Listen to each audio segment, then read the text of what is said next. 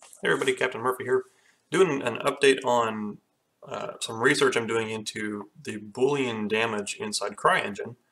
And what I've created is a new entity for ships. This is kind of a plan that we've been trying to shoehorn the vehicle entity class into our usage and because of all the buoyancy changes we're having to make we're going to go ahead and just create another entity class that we can use our own buoyancy calculations on. Since we're not going to be using the vehicle's actual propulsion and all that, we're going to go ahead and just skip this.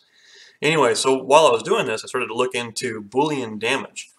The model you're looking at here has physicalized proxy helper turned on, so you can see what the object looks like according to uh, physicalized damage. So this is what it looks like normally uh, with the regular, just you know, your models and all that. It's actually composed of several components. There's a hull 1, a hull 2, and a hull 3 object that are all tied together. And this is going to allow us to have modelers that can just uh, assign their objects and you know set their offsets, things like that. So right now everything is, um, there's actually three models that are all tied together that are being used for this. So anyway, with this uh, um, design here, uh, I've run into a couple of kind of interesting issues. And so if you're looking at the physicalized proxy, I'm going to go ahead and turn on, uh, I have the uh, St. Albans over there still lobbing cannonballs at random here.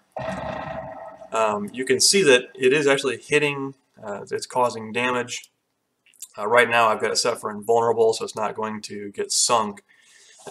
but as it does actually cause damage, it will make the CGA, because this is a model made up of a single CGA model down here, and then these two other objects on top are made out of CGFs. The physicalized proxy that is created, and you see it happen just a second ago, the hull actually broke loose. And I'll turn off the physical proxy as you can see. The hull is gone. So whenever the model gets struck and it actually causes damage, the parts of the model start to break apart. And we saw this happen before with the, um, the first attempts we had made at damage with the sail objects. Whenever the sails were broken loose from the vessel, they uh, or the vessel was damaged, the sails came loose, the vessel sank out from under it, and the sails just kind of hovered there in the air. And so we've seen this happen a few times now where uh, things have gone wrong. But I do want to look at, if you look at the proxy itself, the materials are actually being damaged. So this is what it looks like when a cannonball hits the object and um, does real uh, demonstrable damage. So as soon as we can figure out how to make this damage appear on the actual proxy, or should say the material that's on the proxy, I think we'll have a lot better looking damage models because this is all being done procedurally. We're not we're not having to do this in any kind of code or anything like that. The, the system automatically handles this.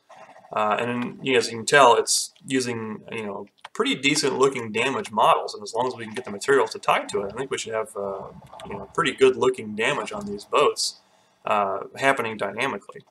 So anyways, I just got a, a, quick update, just show you guys what kind of uh, random problems we're running into and why I haven't been heard from for a couple days. So anyway, uh, we'll try to keep you updated. Thanks guys.